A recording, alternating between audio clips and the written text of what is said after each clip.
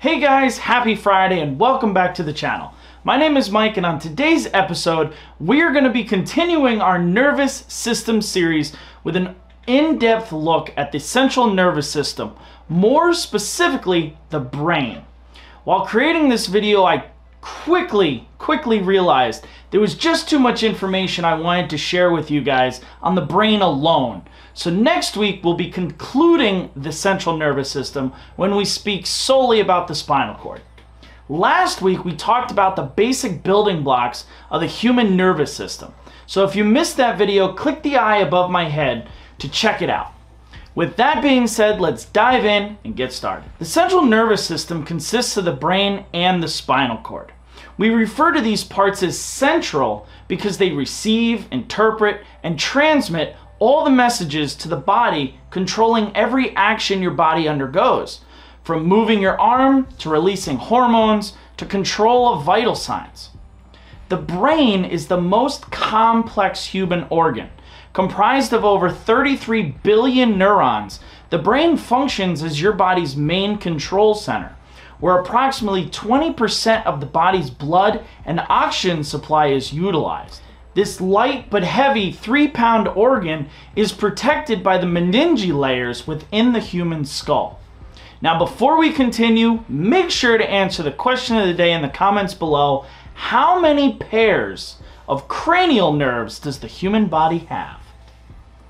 Anatomically speaking, we divide the brain into two hemispheres, the left and the right.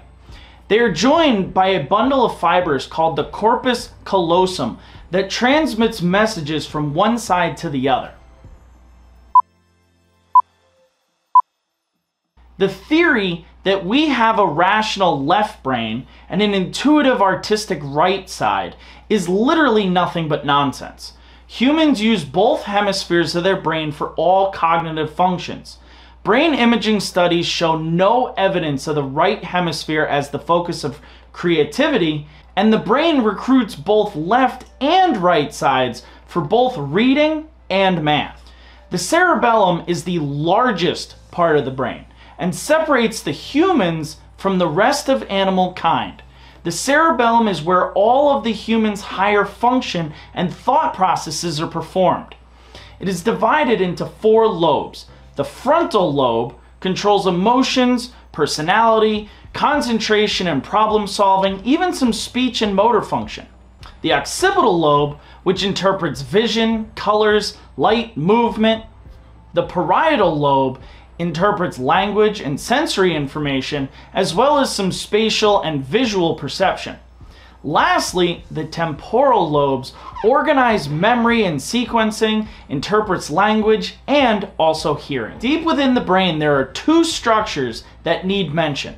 The thalamus serves as a relay station for almost all information that comes and goes to the cortex. It plays a role in pain sensation, attention, alertness, and memory.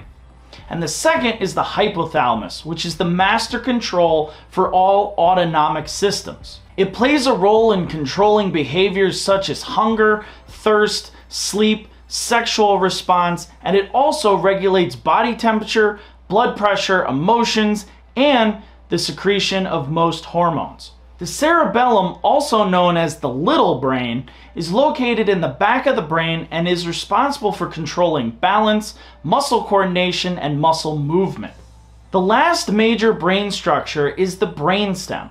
The brainstem is made up of three structures, the midbrain, the pons, and the medulla oblongata.